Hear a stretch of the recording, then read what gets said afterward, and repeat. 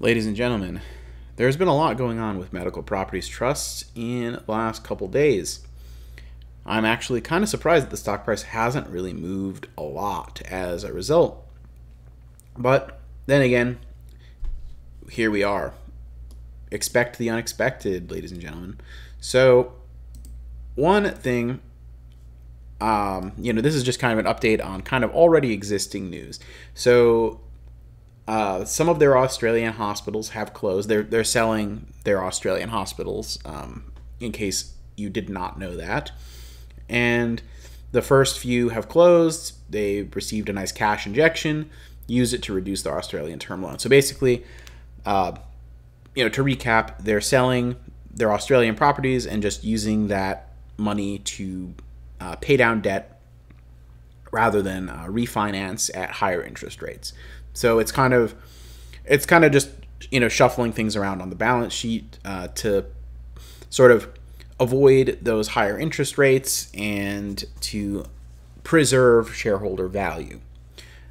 And so that is basically going as planned with the first seven hospitals being closed upon and the money changing hands. So that's good news. That's going as planned. You don't really expect, I mean, it was basically a done deal to begin with, but, you know, glad to see that happening.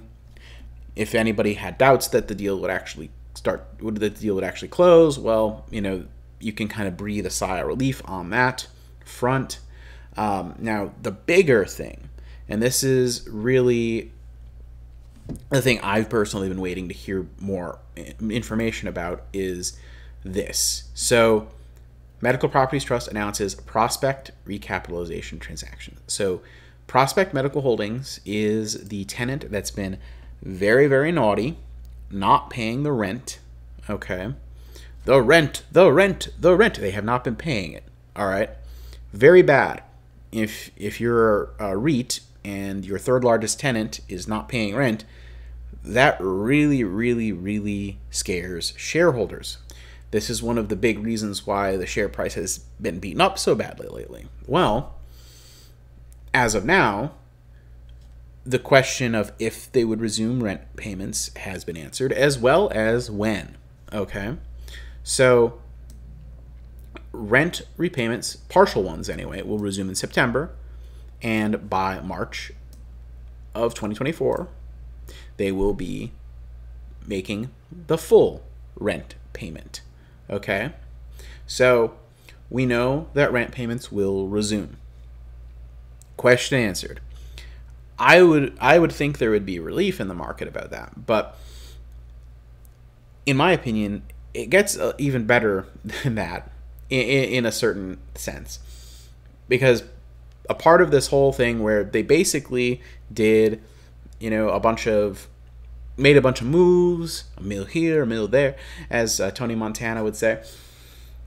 They kind of did what amounts to, in my opinion, sort of a bailout of Prospect. Um, don't really know like a better way to put it, but in exchange, they're taking a big old chunk of Prospect Medical's managed care business. Now, um, the valuations I've seen have put that managed care business at around a billion dollars.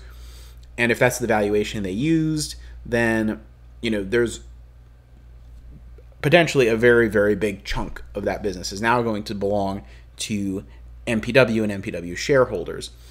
And hey, if that business grows, I mean, hey, the, the healthcare business as a whole, that industry, is a, a very significant portion of GDP and growing. So there is a sort of upside potential.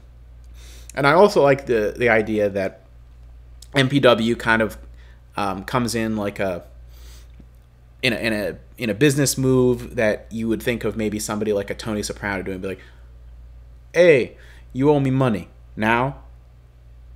A piece of everything you own now belongs to me." Right? So they kind of are saying, hey, like, we're going to, this is what we're going to do for you and dig you out of this hole, but we want a piece of the action in exchange. And hey, I'm always happy to get a piece of that. I got a shareholder of MPW. I now get a piece of that action. And hey, there is some upside potential with this, but you know, even if that doesn't necessarily play out with the um, with the managed care business, you know, appreciating substantially or growing in value, at least we have now a path forward for rent payments to resume because this is a REIT. Our primary focus is, um, you know, rent payments. we want to be bringing in more rents than what we're paying in, you know, costs and you know debt service, etc. We want you know we want good funds from operations to service our you know dividends as shareholders. So we have a path forward on that. That's the most critical thing to me. That's what i care about. I, I just want the rent the rent the rent. And i don't want anyone telling me it's too damn high okay? So i think that you know, now that this question is answered and that they've um, you know closed on some of those Australian hospitals. Debt's been some debt's been paid down, etc. They've um, reorg reconstituted their uh, whole thing with uh, Prospect. I f- I'm I'm personally breathing a little bit of a, a sigh of relief on this. You know, I I figured they would figure out a solution here and figure out a way forward. That seems to be what MPW does with difficult situations, but the fact that there's actually now some, you know, some kind of announcement to, you know, to tell us what's happening and when, that makes me, you know, feel a bit better about the situation and realize that, you know, I was, you know, more or less, I feel vindicated that management would figure out a way to go forward with Prospect and get that rent income coming back in.